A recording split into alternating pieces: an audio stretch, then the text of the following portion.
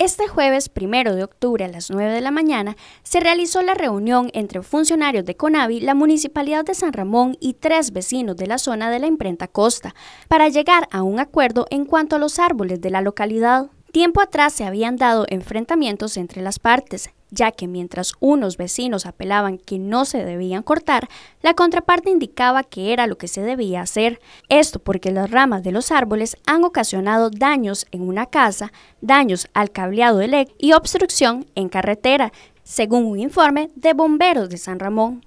A partir de los incidentes, una vecina de la imprenta Costa realizó varias cartas para solicitar la poda de árboles de la localidad a la Municipalidad de San Ramón.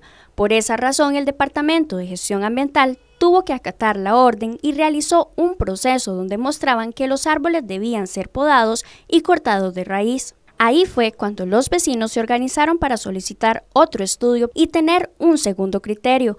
A raíz de esto contrataron a un biólogo de la Universidad Nacional, entonces cambió la visión del tema. Donde antes debían cortar siete árboles, él indicó que no correspondía realizarse, lo cual en el acuerdo de este jueves lograron detallar las medidas a tomar en la zona de la imprenta Costa. Bueno, se tomó un acuerdo entre los vecinos Em, que se iba a respetar cierta cantidad de árboles en poda, otros se van a eliminar por completo a petición de, esas dos personas y el, otro acuerdo que se tomó fue que la municipalidad se va a encargar de que los árboles que son cortados em, plantar unos nuevos hacer y darles mantenimiento. La municipalidad se comprometió con nosotros de que los árboles que corten ellos los van a sustituir por árboles endémicos y que ellos se van a encargar de darle mantenimiento.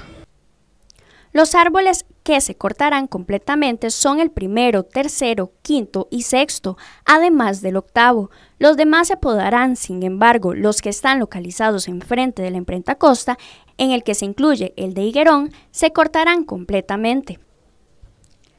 Pero, digamos, el higuerón es uno que a todo el vecindario le va a doler no tenerlo, pero a la petición de, doña Lourdes que corten la rama que está sobre su casa, quedaría el peso al otro costado y sí seguiría el árbol por completo. No se podría eh, mutilar de esa forma porque ya no sería una poda, sino una mutilación del árbol que no lo soportaría.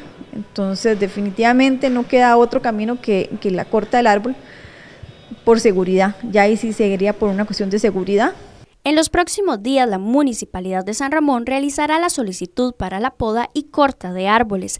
Esta será enviada al CONAVI, donde ellos aprobarán y enviarán a los encargados del trabajo. Además, se les deberá avisar a los vecinos cuándo se llevará a cabo para que el tendido eléctrico y el servicio de cable no se pierda durante el tiempo de trabajo en la zona.